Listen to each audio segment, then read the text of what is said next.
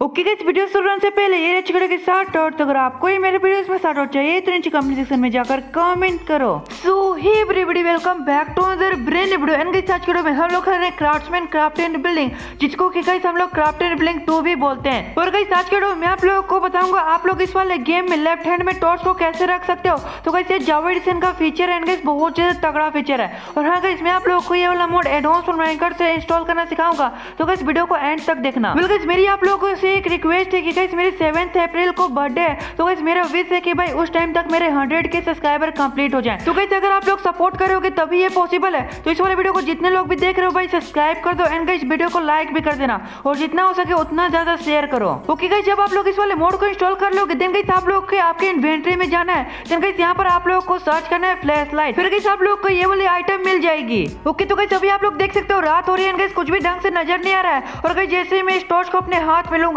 तो गाइस आप लोग देखना भाई, कितना ज़्यादा सही हो जाएगा। आप लोग देख सकते हो, हर एक चीज़ ढंग से नज़र आ रही है। कितना ज़्यादा ब्यूटीफुल लग रहा है। तो गाइस माइनक्राफ्ट जावा में भी बिल्कुल ऐसे ही होता है। आप लोग उसके टॉर्च को अपने हाथ में लोगे तो गाइस वो ग्लो करता है। और हाँ गाइस आप लोग इस वाले टॉर्च को अपने लेफ़्ट हैंड में भी रख सकते हो। तो गाइस आप लोग को करना क्या है? सिंपली जहाँ पर आप लोग सेल रखते हो, उस वाले जगह पर आप लोग टॉर्च को रखोगे देन ये आपके लेफ़्ट हैंड में भी आ जाएगा। देन गाइस आप लोग अपने राइट हैंड में शॉर्ट रख सकते हो और लेफ़्ट हैंड में टॉर्च तो गाइस अब आप लोग ऐसे ही फाइटिंग भी कर सकते हो रात को। तो गाइस बहुत ज़्यादा सही फीचर है तो गाइस आप लोग को पता है 1.18 एटीन अपडेट आने के बाद केस बहुत ज़्यादा बड़े बड़े हो चुके हैं और कहीं सब डायमंड आयरन ये सब ढूँढने में बहुत ज़्यादा डिफिकल्टी होती है क्योंकि कहीं बहुत ज़्यादा अंधेरा रहता है तो कहीं आप लोग इस वाले टॉर्च को यूज़ कर सकते हो तो कहीं आप लोग अपने लेफ़्ट हैंड में टॉर्च को रख लेना एंड राइट हैंड में पिक फिर कहीं आप लोग बहुत ज़्यादा इजिली माइनिंग कर सकते हो आप लोग को यार डायमंड वगैरह बहुत ज़्यादा इजिली दिख जाएँगे ओके तो कहीं सब बात करते हैं आप लोग इस वाले मोड को कैसे इंस्टॉल कर सकते हो तो कहीं इसे इंस्टॉल करने के लिए आप लोग सबसे पहले प्ले स्टोर पर जाना है और कहीं वहाँ से आप लोग एडवांस फॉर माइनकार्ट को डाउनलोड कर लेना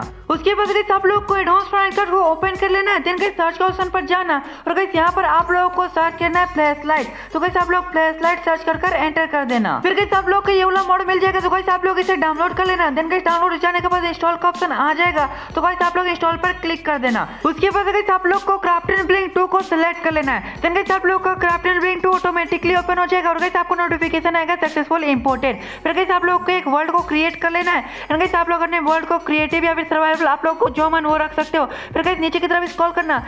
यहाँ के आप लोग को सारे एक्सपेरिमेंट्स को ऑन कर लेना है। तो यहाँ पर जितने भी एक्सपेरिमेंट है, आप लोग सारे को ऑन कर लेना। उसके बाद गई आप लोग को टेक्सचर पैक और बिहेवियर पैक दोनों जगह पर फ्लैश लाइट वाले मोड को एक्टिव कर कर वर्ल्ड को क्रिएट कर लेना है। और गई जल्दी से वीडियो को लाइक और गई चैनल को ज़रूर से सब्सक्राइब कर देना। तो आज की वीडियो में अगले वीडियो में। तब तक गुड बाय सायोनारा इनको क्या पता? मैंने करी कितनी मेहनत। सारी बातों से था मत। सारी ज़िंदगी इन्होंने मुझको रुलाया।